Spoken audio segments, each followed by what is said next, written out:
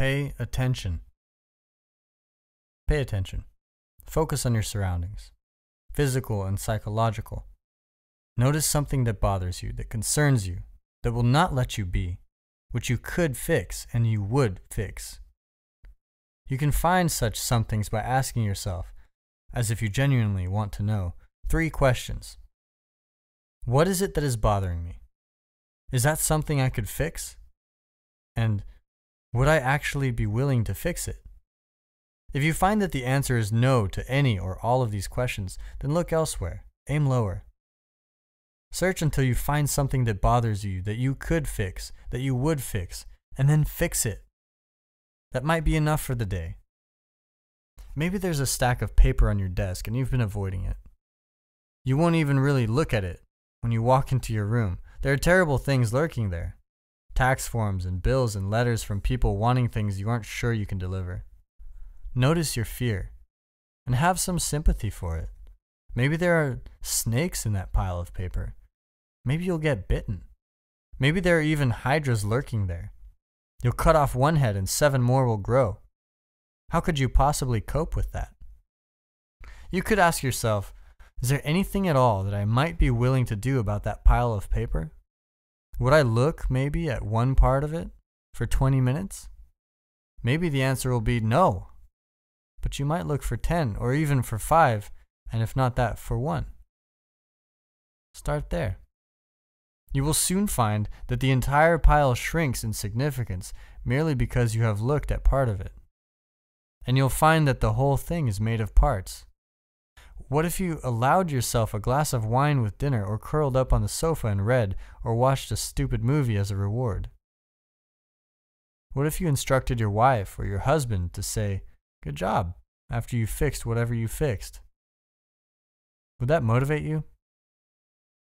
The people from whom thanks you want might not be very proficient in offering it to begin with, but that shouldn't stop you. People can learn, even if they are very unskilled at the beginning. Ask yourself, what would you require to be motivated to undertake the job, honestly, and listen to the answer? Don't tell yourself, I shouldn't need to do that to motivate myself. What do you know about yourself? You are, on the one hand, the most complex thing in the entire universe, and on the other, someone who can't even set the clock on your microwave. Don't overestimate your self knowledge. Let the tasks for the day announce themselves for your contemplation. Maybe you can do this in the morning as you sit on the edge of your bed. Maybe you can try the night before when you are preparing to sleep. Ask yourself for a voluntary contribution. If you ask nicely and listen carefully and don't try any treachery, you might be offered one. Do this every day for a while. Then do it for the rest of your life. Soon you'll find yourself in a different situation. Now you'll be able to ask yourself habitually, what could I do that I would do to make life a little better? You're not dictating to yourself what better must be. You're not being a totalitarian or a utopian even to yourself because you have learned from the Nazis and the Soviets and the Maoists and from your own experience that being a totalitarian is a bad thing. Aim high. Set your sights on the betterment of being. Align yourself in your soul with truth and the highest good.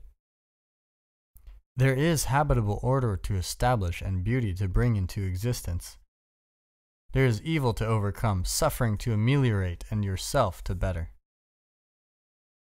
It is this, in my reading, that is the culminating ethic of the canon of the West.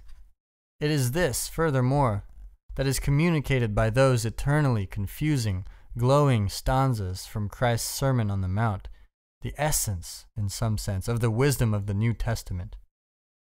This is the attempt of the spirit of mankind to transform the understanding of ethics from the initial, necessary, thou shalt not, of the child and the Ten Commandments into the fully articulated positive vision of the true individual.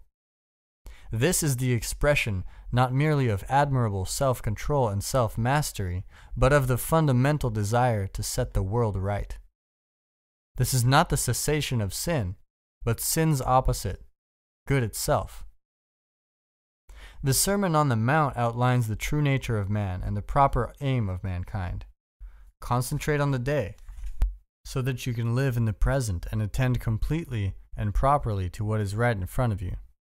But do that only after you have decided to let what is within shine forth, so that it can justify being and illuminate the world. Do that only after you have determined to sacrifice whatever it is that must be sacrificed so that you can pursue the highest good. Consider the lilies of the field, how they grow. They toil not, neither do they spin. And yet I say unto you, that even Solomon in all his glory was not arrayed like one of these. Wherefore, if God so clothe the grass of the field, which today is, and tomorrow is cast into the oven, shall he not much more clothe you, O ye of little faith? Therefore take no thought, saying, What shall we eat, or what shall we drink, or wherewithal shall we be clothed? For after all these things do the Gentiles seek. For your heavenly Father knoweth that ye have need of all these things. But seek ye first the kingdom of God and his righteousness, and all these things shall be added unto you. Take therefore no thought for the morrow, for the morrow shall take thought for the things of itself. Sufficient unto the day is the evil therefore. Luke chapter 12, verse 22 through 34. Realization is dawning. Instead of playing the tyrant, therefore, you are paying attention. You are telling the truth instead of manipulating the world.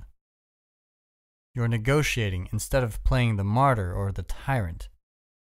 You no longer have to be envious because you no longer know that someone else truly has it better. You no longer have to be frustrated because you have learned how to aim low and to be patient. You're discovering who you are and what you want and what you are willing to do. You are finding that the solutions to your particular problems have to be tailored to you personally and precisely. You are less concerned with the actions of other people because you have plenty to do yourself. Attend to the day, but aim at the highest good. Now your trajectory is heavenward. That makes you hopeful. Even a man on a sinking ship can be happy when he clambers aboard a lifeboat and who knows where he might go in the future. To journey happily may well be better than to arrive successfully. Ask, and ye shall receive. Knock, and the door will open. If you ask, as if you want, and knock, as if you want to enter, you may be offered the chance to improve your life a little, a lot, completely. And with that improvement, some progress will be made in being itself. Compare yourself to who you were yesterday, not to who someone else is today.